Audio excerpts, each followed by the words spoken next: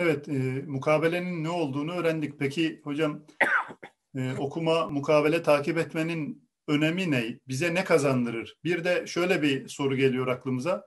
Sevap yönüyle ben evde tek başıma oturup Kur'an okunmalı mıyım yoksa mukabele mi tercih edilmeli?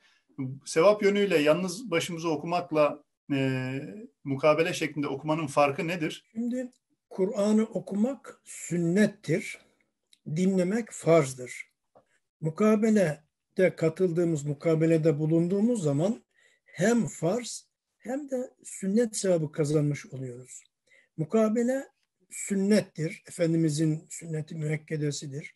Bu sünneti ihya edenler Kur'an'ı dinleme, okuma ve üzerinde tefekkür etme görevini yerine getirip Allah Resulü'nün şefaatini ve Allah'ın mağfiretini kazanacaklardır inşallah. Ebu Ümame der ki Resulullah'ın şöyle buyurduğunu işittim.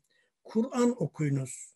Çünkü Kur'an kıyamet günü kendi yaranına kendisini okuyan, amel edenlere şefaatçi olarak gelecektir.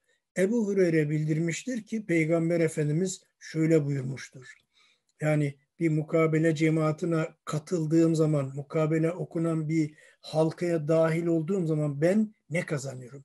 Bir cemaat Allah'ın evlerinden birinde toplanır, Allah'ın kitabını okurlar ve aralarında birinin okuduğunu diğerleri açık veya gizli tekrarlamak suretiyle ders yaparlarsa üzerlerine huzur iner, onları rahmet kaplar, çevrelerini melekler kuşatır. Allah o kimseleri kendi katında bulunanların arasında anar. Kur'an-ı Kerim okumayı bilmeyen ve takip edemeyen kişiler de mukabele dinlemeye devam etmeliler.